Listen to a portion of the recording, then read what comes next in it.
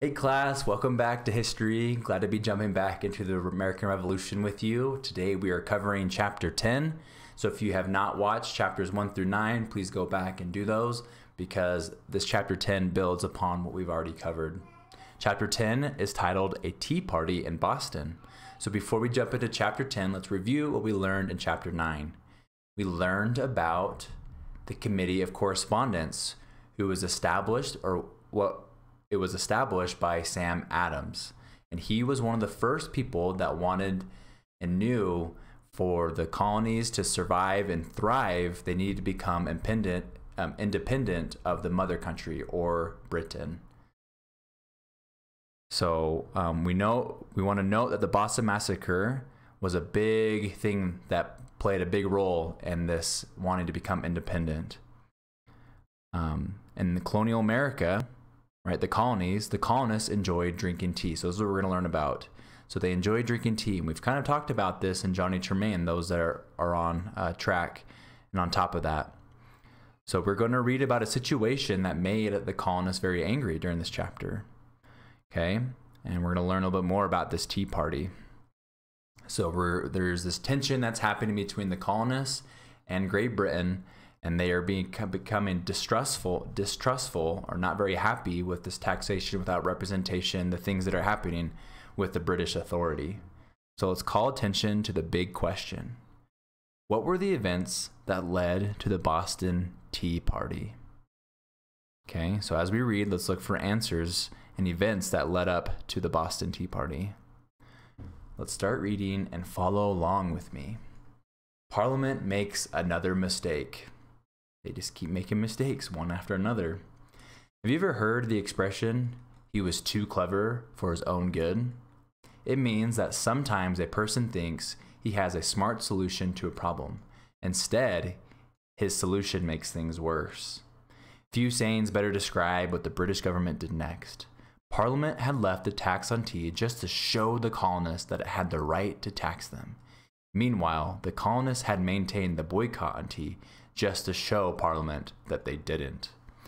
Parliament decided its plan had not worked. British tea merchants had lost their colonial customers. The colonists were buying tea smuggled in by Dutch merchants. Smuggling means coming in underneath the law, under, underneath the radar. Those things that aren't being taxed aren't allowed but are being brought in. As a result, the government hadn't collected more than a pennies, a few pennies in taxes. So in 1773, Parliament came up with another plan. It passed the Tea Act. Parliament's new plan was clever but tricky. Parliament lowered the price of the tea itself, but it also kept the tax on the tea. When the new price of the tea was added to the tax, the total cost was less than what the colonists paid for tea from the Dutch. So let's pause really quick. We see this this person drinking this colonist, and the caption says tea was a popular drink in the colonies. So Britain is realizing that they want to show that they still have the authority. They know that tea is a very popular drink in the colonies, and so they're saying, "Hey, we'll still continue this tax, but let's lower the price of tea, but keep the tax." So if the colonists want to save money, they would rather pay for the tea from us than Dutch because it's more expensive, but they're still taxing the tea. So let's see what happens. Parliament thought the colonists would now buy British tea again. When they did, they would be paying the tea tax. Soon, 2,000 chests of tea were loaded up, uh, aboard British ships bound for the American colonies. Once there, the tea would be sold by certain colonial merchants. Unfortunately, Parliament was too clever for its own good. The Tea Act of 1773 showed how poorly Parliament understood the colonists. The colonists didn't care about the price of the tea, they cared about taxation without representation. They were not going to pay the tea tax no matter what British tea costs. Doesn't seem like it's working out.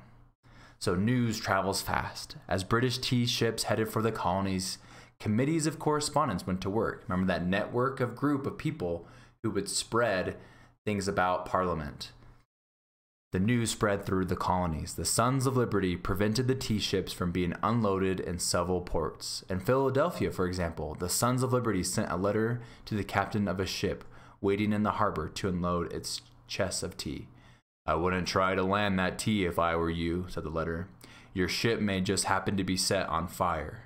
The captain got the idea and decided not to dock. The colonists and the other colonial port cities responded the same way.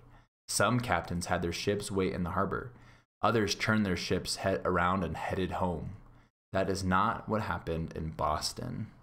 And this is what we've kind of read about in Johnny Tremain. Time for tea. Early in December 1773, three tea ships entered Boston Harbor. Citizens gathered at a town meeting. They demanded that the governor of the colony order the ships to leave. The governor did not like Sam Adams or the Sons of Liberty. He refused.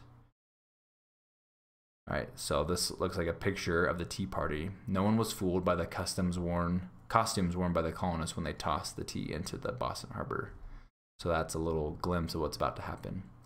Colonists took matter into their own hands. On the night of December 16th, 1773, a group of colonists dressed as Native Americans as a symbol of independence then they rowed out to the ships in the harbor. They boarded the ships and dumped every chest of tea into the water. Exactly 342 chests went into the harbor. All of this was done in a quiet, businesslike way. When they were through, the Native Americans, right, it's in quotes because they weren't really Native Americans, swept the deck and put everything back in its proper place. This event became known as the Boston Tea Party. And we read a, a more in depth, sorry, more in depth happening, uh, more in depth uh, description of that in Johnny Tremain. So if you're behind, definitely get caught up because it's pretty exciting. The intolerable, the intolerable acts. When Parliament and the King heard about the Boston Tea Party, they were outraged. Parliament passed laws to punish the people of Boston and the whole Massachusetts, Massachusetts colony. One law closed the port of Boston until the colonists paid for the wasted tea. For a city that depended on trading and fishing, this was a harsh punishment. Parliament hoped that Boston's merchants had fishermen and fishermen would turn in the guilty persons. Maybe they would even pay for the tea themselves. They did neither. A second law took away most of the Massachusetts colony's self government. The British also appointed an army general to be the governor of Massachusetts. The new governor came with thousands of British soldiers, the Quartering Act forced the colonists to house and feed, sorry, to house and feed the soldiers. We learned about quartering, meaning they, like I just said, they had to take in the British soldiers, um, you know, for like forcefully, like they didn't want to, but they had to, and they had to take care of them, give them bed and food. These laws became known as the Intolerable Acts because the colonists would not tolerate or accept them. Right? So intolerable means unbearable. So now they're making enemies. The British government failed to understand the effects of its actions. The new laws caused it to lose friends and make enemies. Even colonists who were loyal to Britain, who opposed the Sons of Liberty, who wanted to buy British tea and pay the tax, felt the new laws were too harsh. So now their friends are becoming enemies. So let's look at this and read the caption. Tax collectors were unpopular. This tax collector had been painted with melted tar and covered with feathers. Oh my gosh, that would hurt. Looks like they're even might even try to kind of hang him, or maybe they're just trying to rope him up. Okay, once again, the committees of correspondence spread the news. The colonies decided to stand with the people of Boston to resist the intolerable acts. And to resist means to go against. They're revolting against the mother country. All right, so that's our chapter um, 10. Those that, for those that want help, I'm going to go over the big question again and give some hints and points that you should be using and to help you answer the big question to get full credit.